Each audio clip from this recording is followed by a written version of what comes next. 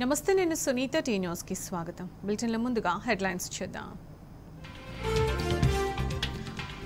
మూడు గంటల వరకు నామినేషన్ల దాఖలకు గడువు. ఈ నెల పదమూడున పరిశీలన పదిహేను వరకు ఉపసంహరణకు అవకాశం. అబద్దాలతో అధికారంలోకి వచ్చేందుకు కాంగ్రెస్ కుట్రలు. తెలంగాణ ప్రజలు జాగ్రత్తగా ఉండాలన్న మంత్రి హరీష్ రావు. అభివృద్ధి సంక్షేమంలో దేశంలోనే ముందున్నాం. బీఆర్ఎస్ మేనిఫెస్టో అద్భుతంగా ఉందన్న హరీష్ రావు. గడప గడపకు గులాబీ అభ్యర్థుల ప్రచారం. బీఆర్ఎస్ కే పట్టం కడతామంటున్న జనం.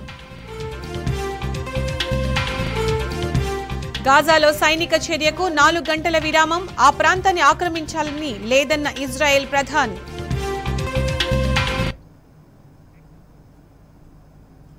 కాంగ్రెస్ గెలిస్తే తెలంగాణను ఆగం చేసేందుకు రేవంత్ రెడ్డి కుట్రలు సిద్ధం చేసుకున్నాడు. అసలు తెలంగాణ అభివృద్ధిపై ఎలాంటి ప్లాన్స్ లేని రేవంత్ రెడ్డి ఏకంగా యాభై వేల ఎకరాల రైతుల భూములపై కన్నేశాడు. రాచకొండలో కొత్త నగరం నిర్మిస్తానని ప్రగల్భాలు పలుకుతున్నాడు. హైదరాబాద్లోని వీధి వ్యాపారులను నగరం వెలుపలకు తరిమేసేందుకు కుతంత్రాలు పన్నుతున్నాడు. ఇండియా టుడే ఇంటర్వ్యూలో రేవంత్ రెడ్డి కుట్రలు బయటపడ్డాయి. రేవంత్ రెడ్డి వ్యాఖ్యలపై తెలంగాణ సమాజం భగ్గుమంటోంది.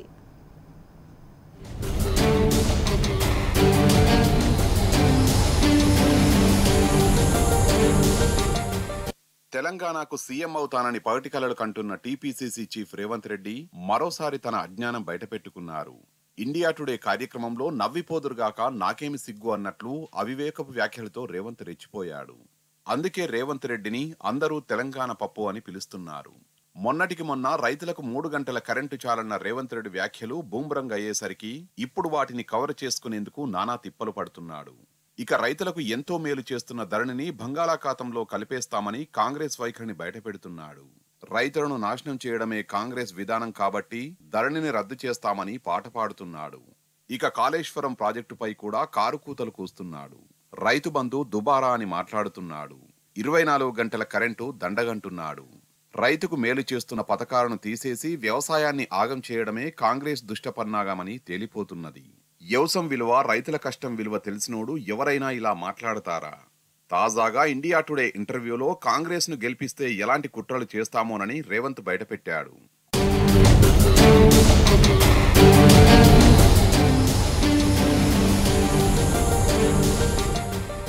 అనుకున్నదే నిజమైంది. కాంగ్రెస్ కుట్ర బట్టబయలైంది. తమకు అధికారమిస్తే కల్పతరువు లాంటి హైదరాబాద్ నగరాన్ని ఏం చేయబోతున్నారో పీసీసీ చీఫ్ రేవంత్ రెడ్డి ఎన్నికలకు ముందే బయటపెట్టేశాడు అటర్ ఫ్లాప్ అయిన అమరావతి మోడల్ను హైదరాబాద్లో అమలు చేస్తానని ప్రకటించారు. ఆరు గ్యారంటీలంటూ ఊదరగొడుతున్న హామీల అమలుకు డబ్బు లేదని స్వయంగా తేల్చేశాడు. ఆ హామీలు అమలు చేయడానికి హైదరాబాద్ చుట్టుపక్కల రాచకొండ ప్రాంతంలో యాభై వేల ఎకరాల భూమిని రైతుల నుంచి లాక్కొని అంతర్జాతీయ కంపెనీలకు అమ్మేసి డబ్బు సంపాదిస్తామని స్పష్టంగా చెప్పేశాడు. కర్ణాటకలో డబ్బాలో ఓట్లేయించుకున్న తర్వాత ప్రజలకు దోఖా ఇచ్చిన కాంగ్రెస్ పార్టీ తెలంగాణలో ఎన్నికలకు ముందే బయటపడిపోయింది. అంతేకాదు తాను నిర్మిస్తానంటున్న నగరానికి హైదరాబాద్లోని గల్లీ గల్లీలో చిన్నా చితకా వ్యాపారాలు చేసుకుంటున్న వారందరినీ మూటగట్టి పట్టుకుపోతాడట. అక్కడ ఇరవై నాలుగు గంటలు వ్యాపారాలు చేయిస్తాడట.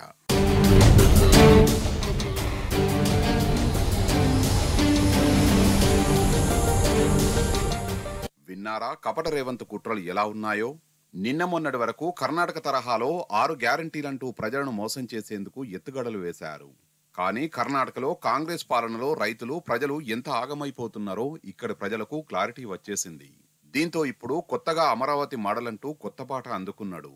అమరావతి మోడల్ పేరుతో హైదరాబాద్లో యాభై వేల ఎకరాల భూములపై కన్నేశాడు. రేవంత్ రెడ్డిపై ఇప్పటికే గోపన్పల్లి భూ కబ్జాల కేసులున్నాయి.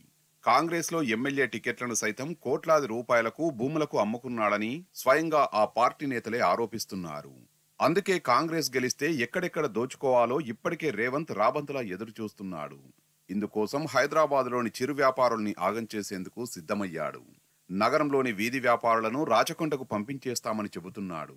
నగరం నడిబొడ్డున బతుకుతున్న కూరగాయలు అమ్మేవారు వీధి వ్యాపారులంటే కాంగ్రెస్కు అంత చిన్నచూపా. నగరంలో కోట్లాది మంది పేద మధ్యతరగతి ప్రజల అవసరాలు తీరుస్తున్న వారిని నగరం వెలుపలకు తరిమేస్తారా? వెనిస్ నగరం లాంటి పట్టణాన్ని రాచకొండలో నిర్మిస్తాడట.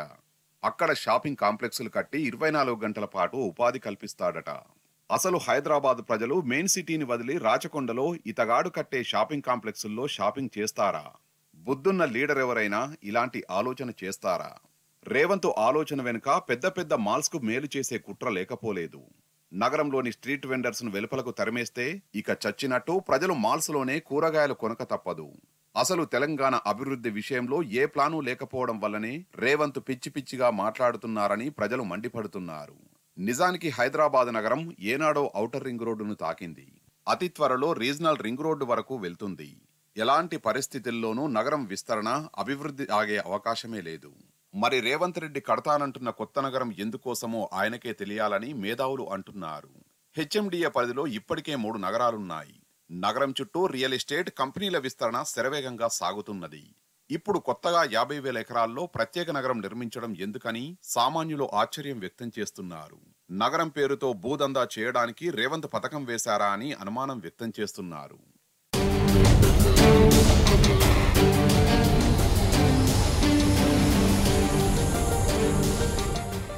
ఇక ఇవన్నీ ఒక ఎత్తైతే ఓటుకు నోటు కేసును తనకు గోల్డ్ మెడల్గా చెప్పుకున్నాడు రేవంత్ రెడ్డి. బెయిల్ మీద తిరిగి బరితెగిస్తున్న రేవంత్ నుంచి ఇంతకంటే సంస్కారం ఆశించడం అత్యాశే అవుతుంది. ఓటుకు నోటు కేసులో తప్పు చేసింది కాక అందులో తనను పట్టించిన నామినేటెడ్ ఎమ్మెల్యేపై చర్యలు ఎందుకు తీసుకోలేదని ప్రశ్నిస్తున్నాడు. దొంగపై కేసు పెడతారా దొంగను పట్టించినోడిపై కేసు పెడతారా అనే కామన్ సెన్స్ లేకుండా అడ్డగోలు మాటలు మాట్లాడుతున్నాడు. బెయిల్ మీద బయట తిరుగుతున్న రేవంత్ ఇప్పుడు న్యాయ వ్యవస్థపై తొడగొడుతున్నాడు.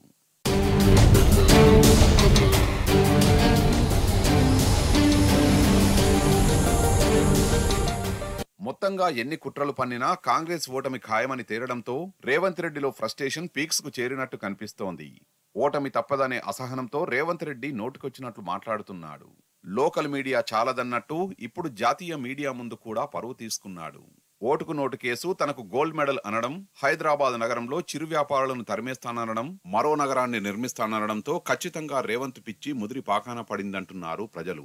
రానున్న ఎన్నికల్లో తెలంగాణ సమాజం కాంగ్రెస్ పార్టీకి తగిన బుద్ధి చెప్పడం ఖాయమని మేధావులు విశ్లేషకులు ఘంటాపదంగా చెబుతున్నారు.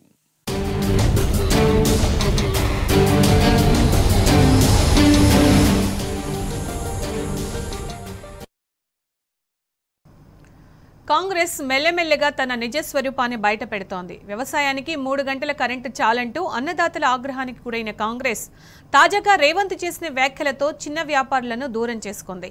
నగరంలో చిన్న చిన్న వ్యాపారాలు చేసుకుంటున్న వారందరినీ సిటీ బయటకు తరలించి ఇరవై నాలుగు గంటల వ్యాపారాలు చేయిస్తామని రేవంత్ రెడ్డి వ్యాఖ్యలపై వారంతా భగ్గుమంటున్నారు. తమ జోలికి వస్తే కర్రు కాల్చి వాత పెడతామంటూ కాంగ్రెస్ నేతలను హెచ్చరిస్తున్నారు.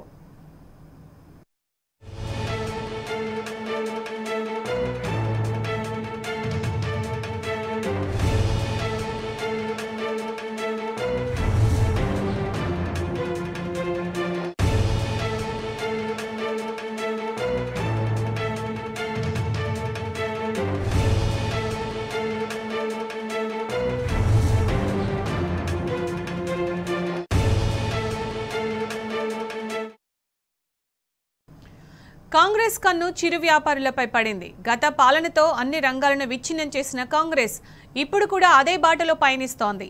చిన్న చిన్న వ్యాపారాలు చేసుకునే వారి పొట్టకొట్టేలా ప్రవర్తిస్తోంది. హైదరాబాద్లో ప్రశాంతంగా వ్యాపారం చేసుకుంటున్న వారిని తాము అధికారంలోకి వస్తే ఇక్కడి నుంచి తరలిస్తామన్న రేవంత్ రెడ్డి వ్యాఖ్యలే దీనికి నిదర్శనం. ఇప్పటికే అద్భుతమైన అభివృద్ధితో ప్రపంచ నగరాలతో పోటీ పడుతున్న హైదరాబాద్లో అనేక మంది చిరు వ్యాపారులు జీవనోపాధి పొందుతున్నారు. సమీప కాలనీలో నివాసముంటూ వారు వ్యాపారాలు చేసుకుంటున్నారు. ఇంటింటికి తిరిగి కూరగాయలు విక్రయించడం దగ్గర నుంచి అనేక చిన్న వ్యాపారాలతో తమ కుటుంబాలను పోషించుకుంటున్నారు. ఇరవై సంవత్సరం నుంచి ఉన్నాము. మనకు ఇక్కడ సెట్ అయిపోయింది. మనం ఎక్కడో వేస్తారంటే అక్కడ మాకు గిరాకీ కాదు. మాకు అక్కడ పోనీకి కూడా రాదు. ఎక్కడో అక్కడ ఉంటేనే మంచిగా ఉంటుంది చివరిలోకి తీసుకొని పెడితే మాకు చాలా ఇబ్బంది అవుతుంది మళ్ళీ గిరాకీ కూడా కాదు మాకు అక్కడ. ఎక్కడో అక్కడ ఉంటేనే మంచిగా ఉంటుంది మా గిరాకీ ఇక్కడ సెట్ అయ్యింది కాబట్టి ఇక్కడనే ఉంటే మంచిగా అవుతుంది ఇప్పుడైతే బాగానే ఉంది. టీఆర్ఎస్ బాగానే ఉంది. ఈ నాది బిజినెస్ ఇక్కడనే బాగుంటుంది. అమీర్పేటలోనే. నా షాప్ చాలా టెన్ ఇయర్స్ అయింది. నాది ఇక్కడనే వేరే వ్యాపారం నాకు ఏం రాదు. ఇదే వ్యాపారం మంచిగా ఉంటుంది. నేను బంజారాల్స్ రోడ్ నెంబర్ ట్వెల్వ్లోనే ఉంటున్నాము. చిన్నప్పటి నుంచి ఇక్కడనే ఉంటున్నాము. ఈ టీ కొట్టు పెట్టేసి ఇరవై మూడు ఇరవై నాలుగు సంవత్సరాలు అవుతుంది ఇక్కడైతే బాగానే జరుగుతుంది. ఇక్కడ నుంచి వేరే ప్లేస్లో తరలిస్తే అక్కడ ఏం జరుగుతుందో తెలియదు అక్కడ సరిగ్గా నడుస్తుందో లేదని తెలియదు ఇక్కడైతే ఒక నాలుగు రూపాయలు మిగులుతున్నాయి చేసుకుంటున్నాం. అక్కడైతే కష్టం అయితే ఇక్కడైతే చేసుకుంటాం. ఇక్కడ వ్యాపారం చేసుకునే ఒక రోజు అవుతుంది ఒక రోజు కాదు ఎట్లా జమాయించుకుంటాము మాకు ఈ ఊరు బయట వేస్తే మేము మాకు వ్యాపారం జరగదు ఇక్కడే ఉంటాము. వ్యాపారం జరగదు మాకు ఇక్కడే ఇష్టం ఉంది ఇక్కడనే నలభై యాభై ఏళ్ళ నుంచి చేస్తున్నాము ఇక్కడే. ఇక్కడే అలవాటు పడిపోయింది. ఎవరు బయట వేస్తే మాకు ఎవరు గిరాకులు రావు ఇక్కడే బాగుంది మాకు. ఊరు బయట వేస్తే మాకు గిరాకులు రావు మాకు వ్యాపారం కూడా జరగదు. ఎర్రగడ్డ ఫ్రూట్ మార్కెట్లో ఉంటాను నేను. ఇరవై ఐదు సంవత్సరం నుంచి ఉంటాను. కానీ ఇప్పుడైతే బీఆర్ఎస్ పార్టీ వచ్చిన తర్వాత కొంచెం డెవలప్మెంట్ అయింది బాగా నడుస్తుంది వ్యాపారం. ఎంతైనా చేస్తున్నాం కష్టం చేస్తున్నాం. ఆ పార్టీ మాకు బెస్ట్ పార్టీ అది.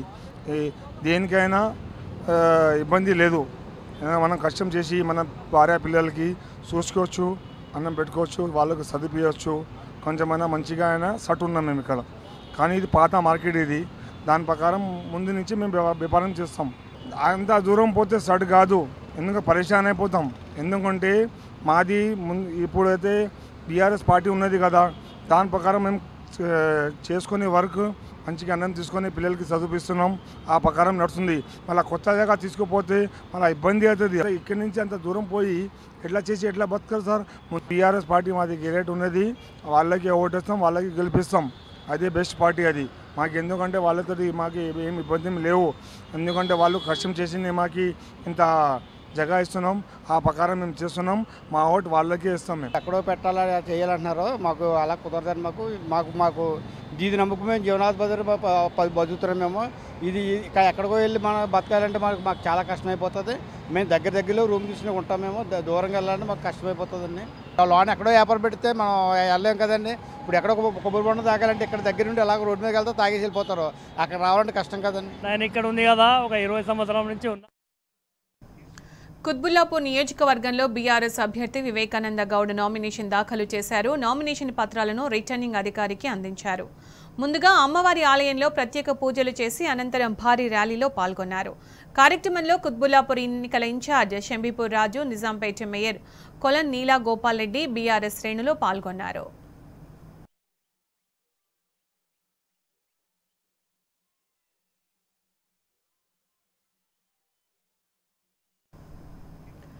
సీఎం కేసీఆర్ నాయకత్వంలో నర్సంపేట నియోజకవర్గానికి సాగునీరు అందుతుందన్నారు బీఆర్ఎస్ అభ్యర్థి ఎమ్మెల్యే పెద్ది సుదర్శన్ రెడ్డి. ఎన్నికల ప్రచారంలో భాగంగా గడప గడపకు తిరుగుతూ బీఆర్ఎస్ మేనిఫెస్టోను ప్రజలకు వివరించారు. అత్యధిక మెజారిటీతో ప్రజలు తనను గెలిపించేందుకు సిద్ధంగా ఉన్నారని ఎమ్మెల్యే పెద్ది సుదర్శన్ రెడ్డి ధీమా వ్యక్తం చేశారు. సీఎం కేసీఆర్ హయాంలో జరిగిన అభివృద్ధి సంక్షేమ పథకాలే తన విజయానికి కారణమవుతాయంటున్న బీఆర్ఎస్ అభ్యర్థి ఎమ్మెల్యే పెద్ది సుదర్శన్ రెడ్డితో మా ప్రతినిధి Ravikanth face to face. Narsampet నియోజకవర్గంలో ఎమ్మెల్యే పెద్దు సుదర్శన్ రెడ్డి గారు ప్రచారంలో దూసుకెళ్తున్నారు. ఇప్పటికే నల్లబెల్లి మండలాన్ని మొత్తం చుట్టి వచ్చారు. ఖానాపూర్ మండలంలో ప్రచారం పెద్ద ఎత్తున కొనసాగిస్తున్నారు. సార్ ఇవాళ మీ ప్రచారానికి ఎట్లాంటి స్పందన వస్తుంది సార్? మీరే చూశారు బ్రహ్మాండమైన స్పందన. ఇలా పాకాలకు గోదావరి జలాలు తెచ్చే గొప్ప ప్రాజెక్టు ఇచ్చిన మహానుభావుడు కేసీఆర్ గారు. అరవై ఏళ్ళ బట్టి రెండో పంటకు నోచుకొని పాకాల ఆయకట్టు రైతులు ఇవాళ సంతోషంగా ఉన్నారు. వాళ్ళ పాదాలు గడిగే గొప్ప అదృష్టం ఒక ఎమ్మెల్యేగా నాకు అవకాశం వచ్చింది. నేను ఆ పని చేసి చూపెట్టినా ఇవాళ రెండు పంటలకు సరిపడా సమృద్ధిగా టేలెండ్ వరకు కూడా నీళ్ళు ఇచ్చిన రెండు పంటల సంస్కృతి ఆరంభించిన ఇవాళ పాకాలకే ఓటు వేయాలని పాకాల సాధకుడిగా కేసీఆర్ గారిని నన్ను దీవించాలని చెప్పి రైతాంగం మొత్తం కూడా కదిలి వస్తా ఉన్నారు. వారి దీవెనలు నిండుగా ఉండాలని మీ ద్వారా నేను కోరుతా ఉన్నాను. ఇద్దరు నాయకులు అంటే రెండు ప్రధాన పార్టీలు ఉన్న ఇద్దరు నాయకులు మీకోసం ఒక పార్టీ మారి మీ పక్క నియోజకవర్గంలో సీట్ సంపాదించారు. అది ఒక వారం కూడా గడవలేదు. జాయిన్ అసలు కండవ కూడా కప్పకుండా ఒక సీట్ తెచ్చుకున్న సందర్భం ఎట్లా చూస్తున్నారు? కాంగ్రెస్ పార్టీ ఎక్కడ దాకా దిగజారిపోయిందంటే ముప్పై ఏళ్ళుగా వేరుగా కొట్లాడినటువంటి ఇద్దరు ప్రత్యర్థులు ఇవాళ నన్ను ఓడగొట్టడానికి ఇద్దరు ఒకటైన్లు. వాళ్ళిద్దరు ఒకటైతే ఇక్కడ తెలంగాణ సమాజం చాలా చైతన్యవంతమైంది. నర్సంపేట సమాజం మరింత చైతన్యవంతమైంది. నర్సంపేట ప్రజలందరూ ఏకమవుతా ఉన్నారు. ఒక చిన్న వయసులో ఎమ్మెల్యే ఒక్కసారి ఎమ్మెల్యే అద్భుతాలు చేసిండు నర్సంపేట నియోజకవర్గాన్ని కేసీఆర్ గారి దీవెనలతో. అత్యద్భుతమైన అభివృద్ధి ఒక విజనరీ అభివృద్ధి ఇవాళ బ్రహ్మాండంగా చేసిండు. ప్రతి గ్రామం పల్లె తండ అనేటువంటి భేదం లేకుండా అంతా కూడా బ్రహ్మాండంగా మరి గొప్ప అభివృద్ధిని చేసి చూపెట్టిన పెద్ద సుదర్శన్ రెడ్డికి నాకే ఓటేయాలనే సంకల్పంతో ఇవాళ ముందుకు పోతా ఉన్నారు. తప్పకుండా అత్యధిక మెజార్టీతో గెలుస్తా అసెంబ్లీలో అడుగు పెడతాం మళ్ళీ. కొత్త మేనిఫెస్టో కొత్త మేనిఫెస్టో సి- బ- కేసీఆర్ భరోసాతో పాటు మీ మీ నియోజకవర్గంలో ప్రత్యేకమైన కొన్ని కార్యక్రమాలు తీసుకున్నారు. వాటి పట్ల ప్రజలు ఎట్లా ఉన్నారు సార్? కేసీఆర్ భరోసా కార్యక్రమంతో పాటు అద్భుతంగా ఉంది మేనిఫెస్టో. ప్రజల ఆశీర్వాదం రెస్పాన్స్ సూపర్గా ఉన్నది. కేసీఆర్ గ్యారంటీ రాష్ట్రానికి కేసీఆర్ గారి పథకాల గ్యారంటీ తప్ప కాంగ్రెస్ గ్యారంటీ అనేది కాంగ్రెస్ కే గ్యారంటీ లేదు. కాంగ్రెస్ వాళ్ళకు తప్పదారి కూర్చేస్తే వాళ్ళ గోసి వాళ్ళే గుక్కునేటువంటి నిజమైన చరిత్ర కాంగ్రెస్ నమ్మే స్థితిలో ప్రజలు లేరు. అయితే ఇవాళ నర్సంపేట నియోజకవర్గం ప్రత్యేకత. నర్సంపేట నియోజకవర్గానికి సంబంధించి ఇవాళ ఇంటింటా పైపుడు నేచురల్ గ్యాస్ పథకాన్ని ఇప్పటికే మున్సిపాలిటీలో కేటీ రామారావు గారి చేతుల మీద ప్రారంభించుకున్నాం. దాన్ని నియోజకవర్గం మొత్తం కూడా విస్తరిస్తాం. ప్రతి అక్క చెల్లె యొక్క మరి గ్యాస్ బాధలను తొలగించి తక్కువ ధరకే ఇవాళ ఇంటింటికి పైపుడు నేచురల్ గ్యాస్ పైపు ద్వారా స్టవ్ దాకా పైపేసి మరి ప్రత్యేకంగా అక్కడ మీటర్ పెట్టి మరి తక్కువ ధరకే గ్యాస్ ఇచ్చేటువంటి గొప్ప పథకం కూడా ఇవాళ నియోజకవర్గ మేనిఫెస్టోలో పెట్టబోతున్నాం. దాంతోపాటు ఇంకా అనేక రకాల అంశాలు కూడా చేర్చబోతున్నాం. గత తొమ్మిదిన్నర ఏళ్ళుగా తెలంగాణ ప్రభుత్వం రైతును రాజును చేసింది. రైతులే టార్గెట్గా కాంగ్రెస్ ముందుకెళ్తున్న సందర్భం ఎట్లా వస్తున్నారు తెలంగాణ రైతులు చాలా కష్టాలు అనుభవించిన అరవై ఏళ్ళ కాలంలో. ఇవాళ కేసీఆర్ గారు వచ్చినటువంటి వచ్చిన తర్వాత ఈ తొమ్మిదేళ్ళ కాలంలో కేసీఆర్ గారిని దీవించి ఇవాళ రైతులు కేసీఆర్ రైతులు వేరు కా- కాదనే భావన ఇవాళ రైతుల్లో నిండుగా ఉన్నది. రైతులను రైతుల ఓట్లను దండుకోవడం మాయమాటలు చెప్తే రైతులు ఓట్లు వేసే రోజులు పాతకాలం రోజులు కాదు. ఇవాళ పదేళ్ళ కింద ఉన్నటువంటి దుస్థితి ఎలా ఉంది? ఇవాళ ఎలా ఉంది? రైతులకు చాలా స్పష్టంగా తెలుసు. ఖచ్చితంగా రైతు లోకం రైతు యొక్క రైతుల యొక్క మరి ఆశీర్వాదంతో కేసీఆర్ గారు ముచ్చటగా మూడోసారి ముఖ్యమంత్రి అవుతారు. ఆ కుట్రలన్నీ కూడా ఇప్పటికే గ్రౌండ్ గ్రౌండ్కు చేరిన కాంగ్రెస్ బీజేపీ పార్టీ చేసే కుట్రలు ఆ కుట్రలను రైతులు తప్పకుండా తిప్పికొడతారు. గ్యారంటీలు ఇస్తున్న కాంగ్రెస్ పార్టీకే గ్యారంటీ లేదని ఎమ్మెల్యే పెద్ది సురేష్ రెడ్డి గారు చెప్తున్నారు. కెమెరా పర్సన్ సంజీవ్తో రవికాంత్ టీ న్యూస్ నర్సంపేట నియోజకవర్గం. ఇవి బులెటిన్ విశేషాలు.